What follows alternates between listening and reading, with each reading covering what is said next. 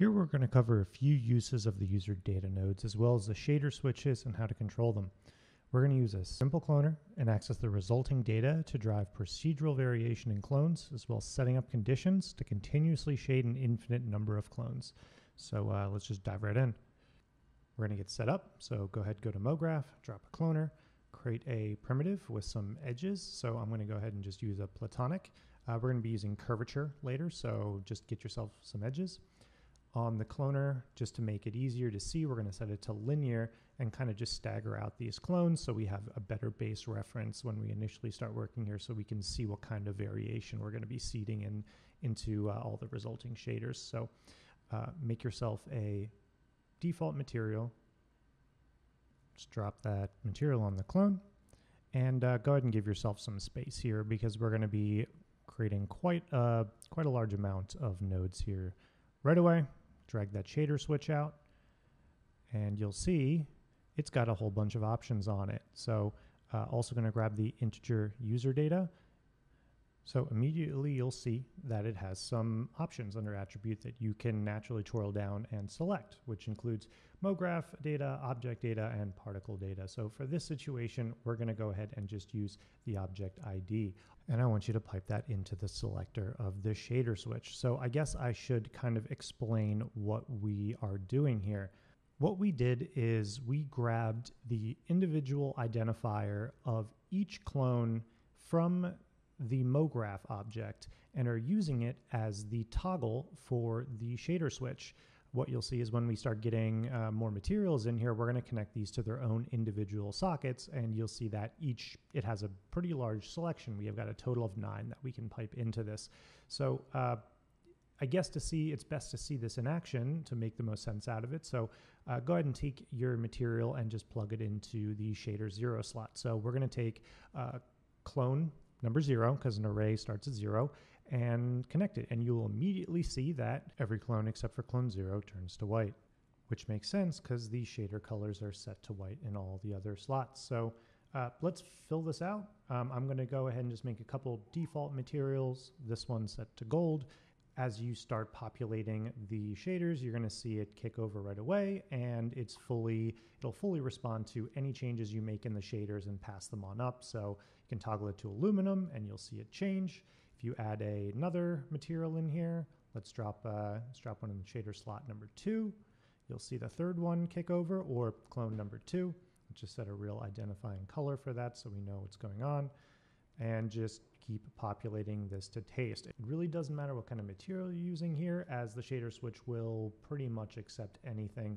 So uh, keep filling that out. Let's throw a fourth one in there. Let's just make that a little uh, darker than the others. I haven't used iron yet, but you can flip through all these and really see the results. So yeah, let's just throw jade in there because that's substantially different.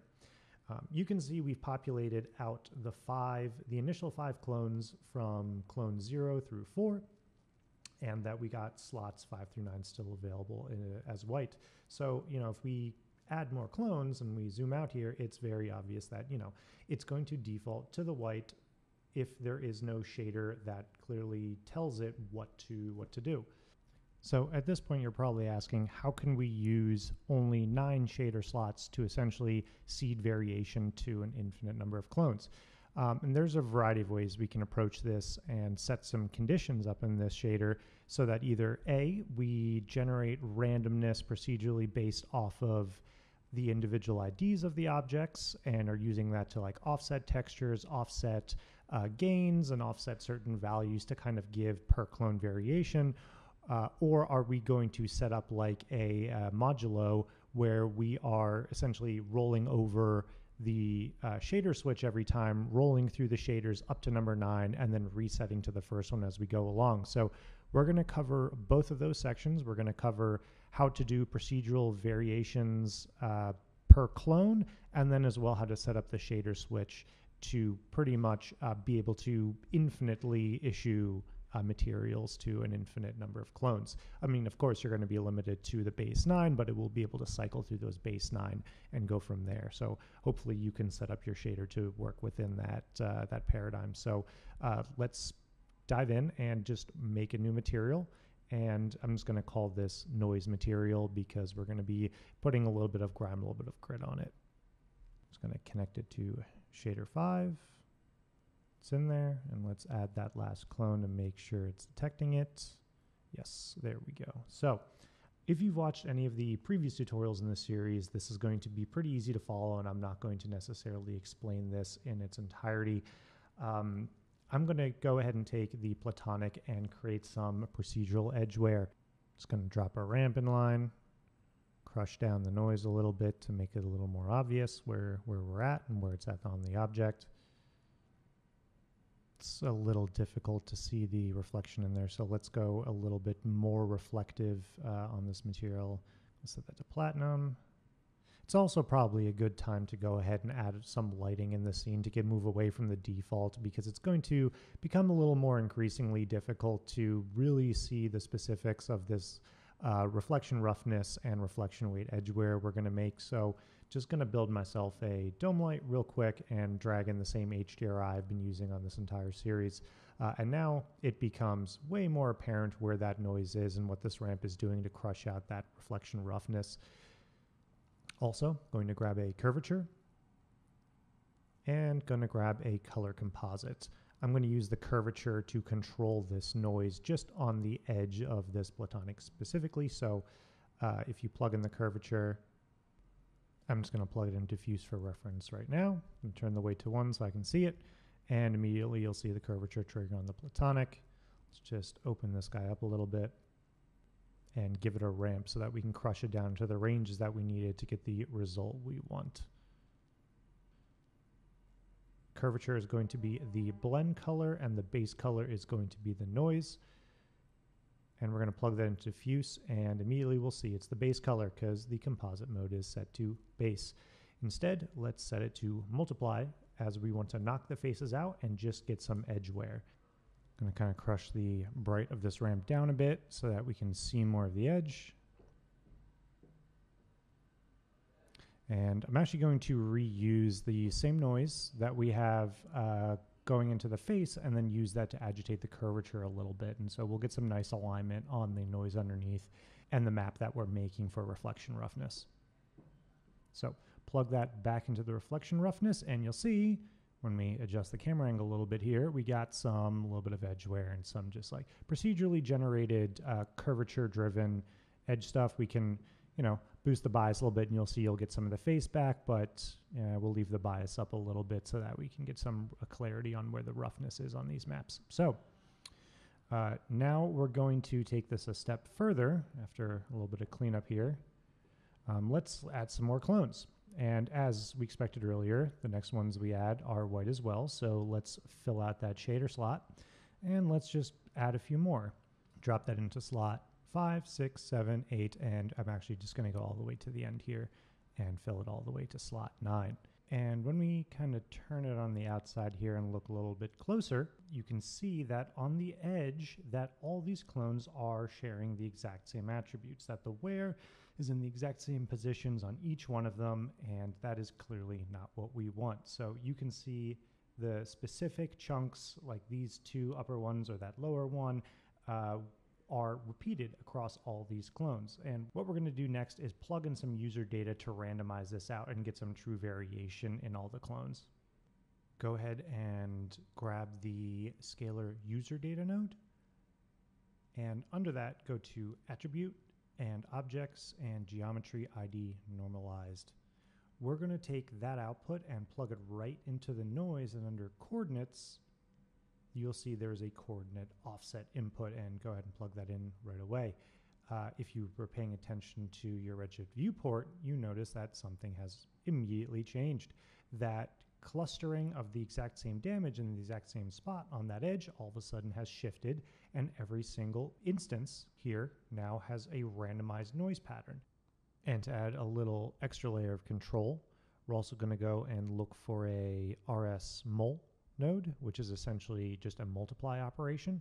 And we're going to drop that in line after the scalar user data and just plug it into input 1. For now, I'm going to set input 221 so that everything that goes in stays the same. Connect it, and you'll notice everything stays the same. Uh, when you plug in different values, let's choose a arbitrary value like 1.325. And when you do, you'll notice the noise starts to evolve and shift and get a little bit uh, greater distance and a little bit more variation between all the clones. So when you compare the edges, every single one kind of has a different point in the noise offset as the scalar user data will change across every single individual node. Everyone will have a unique seed that is being offset by, uh, and then we are multiplying it by an arbitrary value to kind of like multiply that intensity and increase the distance that it is offsetting. So now that we've kind of seen how that scalar user data works, let's look at it and kind of identify what it's doing a little more concretely so you understand what we were doing there. Uh, I'm going to make a, another material and grab a user scalar data, grab other material, and just for now, I'm going to plug it into the diffuse color and use that as a reference material. Uh, you could also always take that user data, plug it directly into the output, but I'm going to be using this material further down the line. While we're at it, I'm also going to set this scene up again to be a little clearer to see. I'm going to put a dome light in there uh, at white and full power so we can tell clearly more clearly what's going on. Also going to go into attribute name and grab the same variable as before, grabbing rs GeoID and plugging it in. Just taking a look, it should become immediately apparent that each individual cube kind of has its own tone, has its own thing. And this is how the scalar user data manifests itself in kind of a diffuse situation. If you were to plug it into the diffuse channel, every, it would get variations in tone that are unique across every single cloner. Uh, you notice that when we plugged it into the coordinate offset in the texture, it offset each one uniquely. And if you plug it into the diffuse color, it'll give each one a slightly unique tone. And we're going to use this to kind of see the unique look of each of these individual clones. So go ahead and set this up similarly to how we've done before in the past. I'm going to grab a noise, I'm going to grab a color composite, and I'm just going to arbitrarily multiply the default noise over the scalar user data, uh, and we get slightly noisier scalar user data. So at this point, it's also worth mentioning that scalar user data is not the only node that we can use to seed up randomization in our clones. There's a bunch of other ways that we can do it, and the one we're going to do next is uh, embedded in the integer user data node. And before we plug that guy in, uh, go and grab, it's under MoGraph. We'll, for this sake, use object ID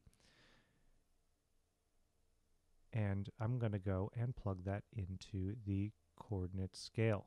Once you connect that guy, if you check in your viewport, you'll see there is a variety of scales that are happening across all the clones, although you can see at the beginning and the end, it's not really working too great. So um, I'm going to go ahead and throw a rs div in there, and I'm going to go and divide the end result here by 2.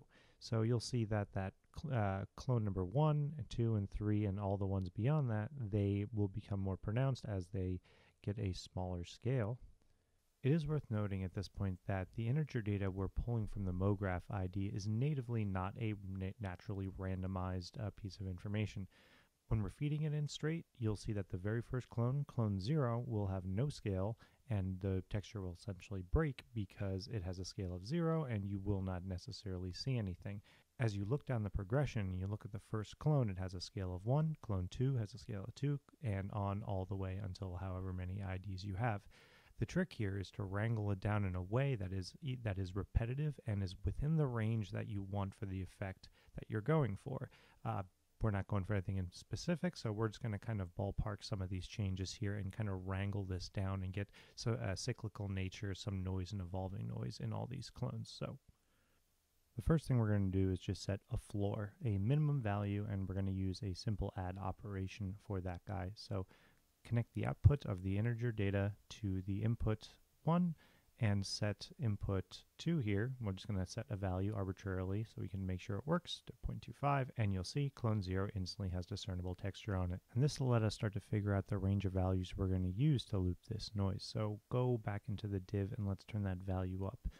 And as we inspect all the clones, you'll see we're going to get stuff that is more in the ballpark in the range of what we're looking for. If this last clone here has noise that's in the scale that we can actually see, we're starting to wrangle this data range into something that we can use.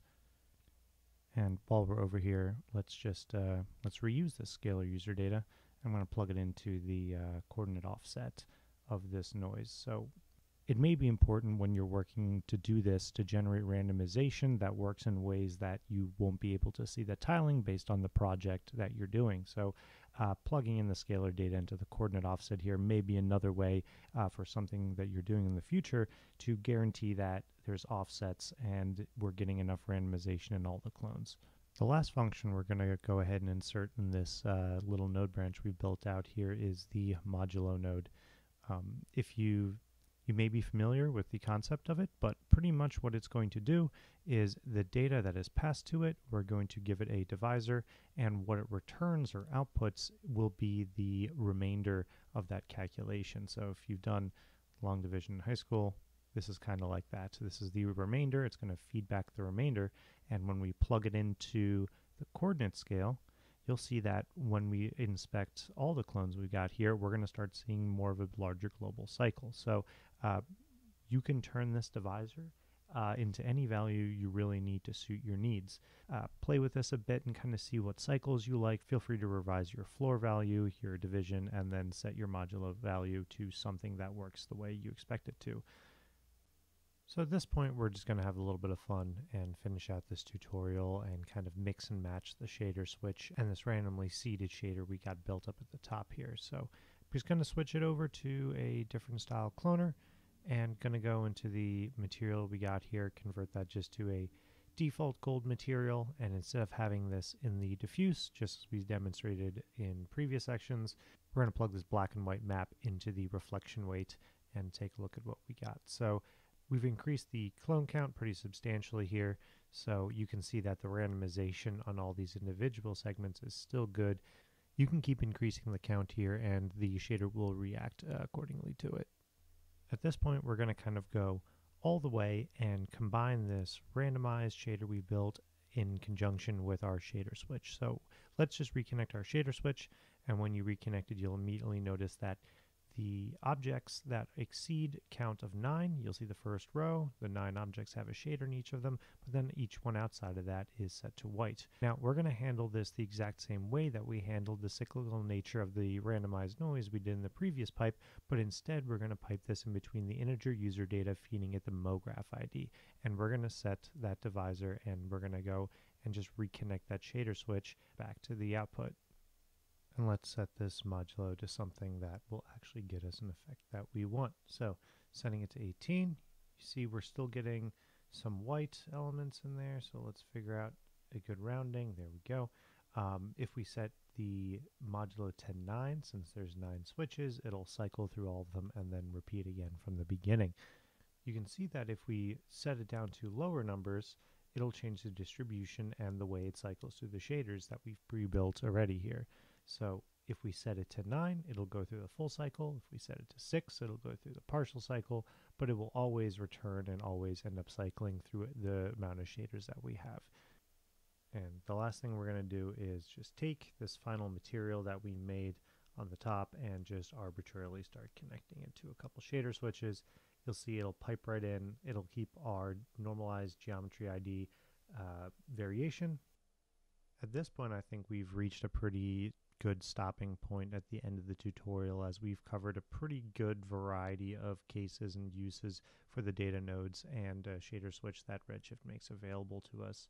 We've covered a variety of topics including setting up your shader, shader switch for a simple cloner, building a material that has procedural variation based not only on global ID but MoGraph ID, and then pipe them all into a shader switch that ends up cycling on an infinite number of clones. So hope you learned something in this, and hopefully, this informs ways that you're going to be able to build and kind of come up to creative solutions with the projects that you have.